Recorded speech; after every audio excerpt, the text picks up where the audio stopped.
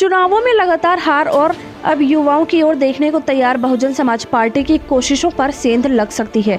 कहा जा रहा है कि 2024 लोकसभा चुनाव से पहले मायावती की पार्टी युवाओं पर खास फोकस कर रही है। बसपा की ये गतिविधियाँ भी ऐसे समय पर हो रही हैं जब भीम आर्मी चीफ चंद्रशेखर आज़ाद भी उत्तर प्रदेश में सक्रिय हो रहे हैं। वह पूरे राज्य में युवाओं को एकजुट कर रहे हैं और उनके फोकस में दलित और मुसलमान हैं।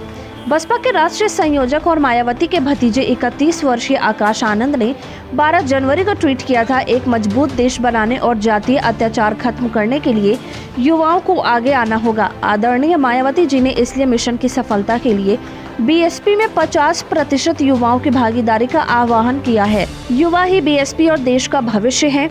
अटकलें लगाई जा रही है कि आगामी शहरी निकाय और लोकसभा चुनाव में बसपा टिकट देने में युवाओं को प्राथमिकता दे सकती है।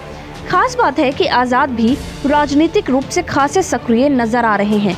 हाल ही में उन्होंने राजधानी लखनऊ में समाजवादी पार्टी प्रमुख अखिलेश यादव से मुलाकात की थी। साथ ही वहाँ राष्ट्रीय लोकदल के अध्यक्ष जयंत चौधरी से भी मिल चुके हैं।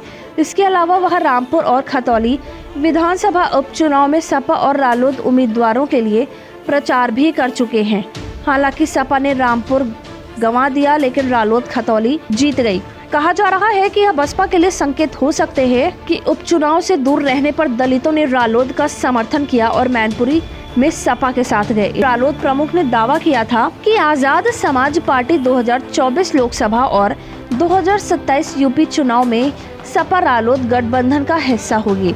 खास बात है कि इससे पहले बसपा भी दोनों दलों के साथ 2019 में गठबंधन में रह चुकी है।